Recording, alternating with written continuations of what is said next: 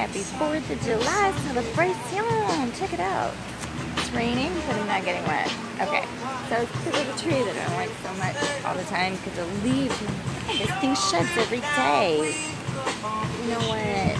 We're just gonna trim it. It's like we trim the dog.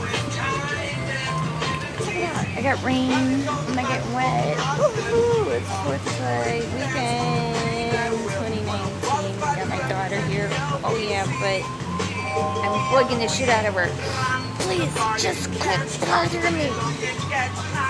So I'm outside, and I won't bother her with my music. It's celebration time, and she's totally, she calls herself nerd, video games, other good stuff. I'm like, oh man, I can't even coordinate that in my head, let alone buttons too.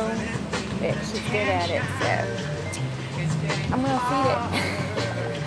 and happy 4th. I love where I live. Love where you live. I mean, some people like it cold, some people like it hot. Some people like it in between, but I not. I like this stuff where I am, and it's, you know, got the tree. Oh, here comes the sun again. You know, we've got a little bit of rain. It's called passing showers. And it's awesome. So cheers. Um, God bless America. God bless independence. God bless that we broke free from Britain and became an independent country. I just would be, wish that we could come back to the United motherfucking States of America. And fortunately, we're the divided motherfucking States of America right now.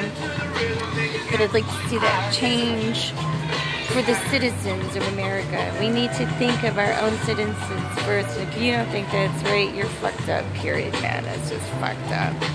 Take care of your own first. Would you put your kids aside to help a stranger? Would you let your own children or your own parents go without so that you can help a stranger if they're good parents and good children? Because you gotta add that in. If they're shitty motherfucking people, it's like, yeah, let those motherfuckers drown. You know, but you know, if they're good.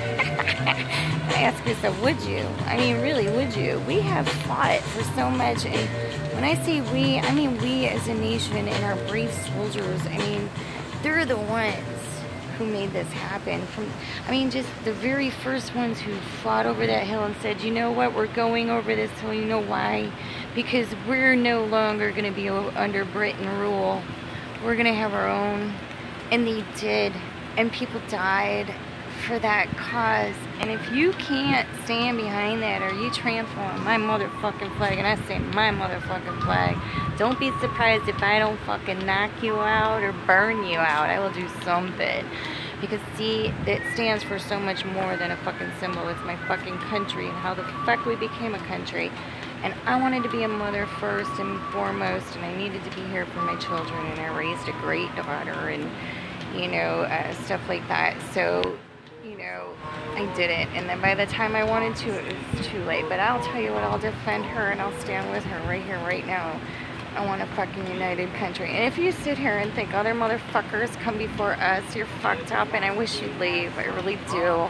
You disgrace those that fucking died for what this country is supposed to be about.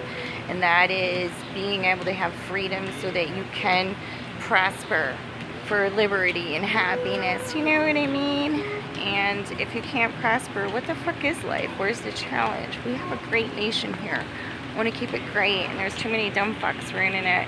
I love where we are today. I'm proud. I'm really happy. I'm psyched. Praise Jesus. Hallelujah, motherfuckers. And I got news for you. I am far from religious. I hate religious shit and ritual bullshit.